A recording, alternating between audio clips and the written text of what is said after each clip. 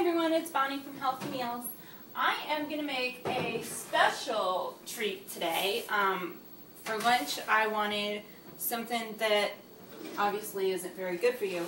However, it's something that you can make at home and make a little bit better for you. So I'm taking my cookie sheet, putting my foil on it so I don't have to basically cook and clean. It's going to be easy clean. Basically just take it, put my stuff on it, clean it, and then send the foil into the trash. And that's it. Alright, so here's what we're going to do today. Ham and cheese croissants. Know them? Love them? Me too. Alright, so here's what we do. I take the crescent rolls, and this is when I'm really being lazy. And yes, I know this is not the best thing possible for you, but one roll is only 100 calories. Um, so what we're going to do is we're going to make a healthier version of this using these crescent rolls. So there are, where is the number? Uh, eight of these in here. So we get to make eight little sandwiches. All right, so we roll this out and, you know, you get your, your little sandwich things here. Um, there are eight triangles, so we're going to put four triangles out serving size for this is going to be, you know, one roll per 100 calories. Okay, so you're looking at about 150 calories total between the cheese and the ham that we're going to add into it. So we have our four rolls here, and we'll get the other four going as well. Um, I just got some organic version or some healthy version. Basically, there's no sugar in this, or no added sugar in this. Um, farm meat, and then, of course, three guesses what kind of cheese we're going to use. You know my favorite. Laughing Cow. 35 calories per slice or per wedge. And basically what we can do, because these triangles are so small, is we're just going to put a chunk of cheese in each one from one wedge. We're not going to put a bunch of cheese in here from three different, like put a wedge of cheese here and a wedge of cheese here. And nope, we don't need to do that. Split this up. Put a wedge of cheese in each one of these puppies. And try to make it even. I mean, obviously it's a wedge, so it's not going to be completely even. But I try to make it as even as I possibly can get it. Um, in terms of the amount of cheese that's in it. Mmm. And I don't know if you guys remember seeing this, but my Laughing Cow I always get with some spices. So this is garlic and herb. They have onion and parsley and a couple other ones. Um, and then we just take this. Here's my problem with some of these lunch meats, especially the Oscar Mayer ones, when you're not sitting in a deli. Um, having a deli guy do it, it's just sometimes it's really difficult to pull, the, pull this out. So here's what I do. See how small these things are?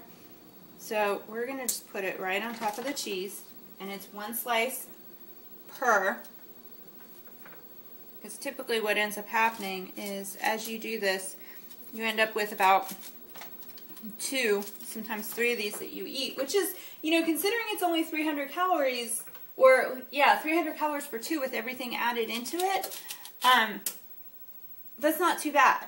So you can actually do two of these in a little side salad. So here's how you roll these, is you take the large side, and the large side rolls first. That's how you get the crescent shape. There you go. So we're going to put that to the side. And then you basically just cook this as though you were cooking the crescent rolls. It is delicious. It's amazing. It's a great way, great way to have your ham and cheese croissants without going getting them from the French shop or the deli or having all the calories in it. Because you and I both know the amount of calories that is in a ham and cheese croissant.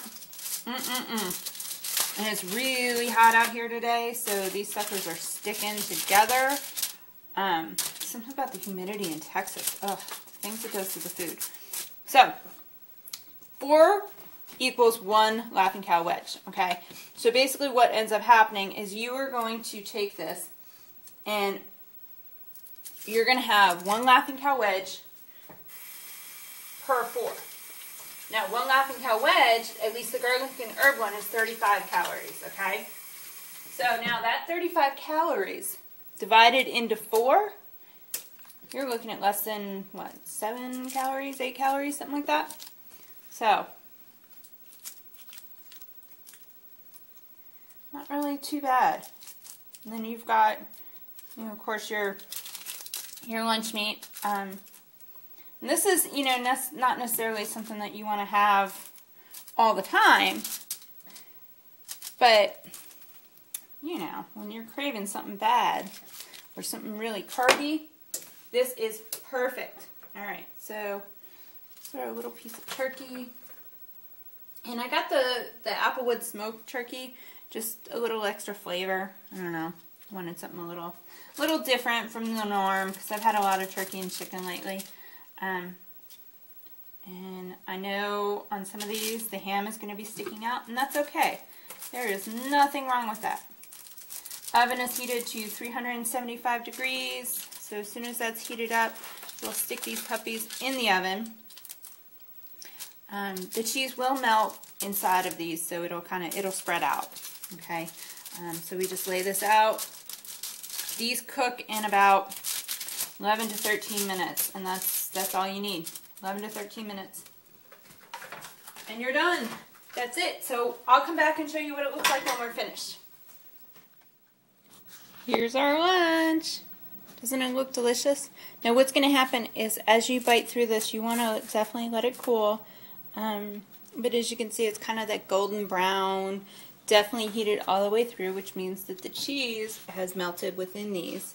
Um, so make sure when you're eating this, don't just bite into the center because that's where the cheese is. And cheese gets very hot, especially in the center of these. So look at that. Oh, how delicious does that look. So look at each one of these. You've got, um, I added it up. It's 122 calories per roll. Okay, so you could actually have three of these with a side salad um, just some mixed greens, maybe some tomatoes or cucumbers, something light, and a vinaigrette. And you've got 400 calories. It's perfect lunch, perfect dinner. You can save these. I'm going to actually wrap up some of these and um, have one or two for breakfast tomorrow morning. Um, one thing I did forget to mention is I actually have, or I used, the garlic herb version of the crescent rolls. Um, so when you bite into it, it's like having a croissant sandwich with garlic on garlic bread.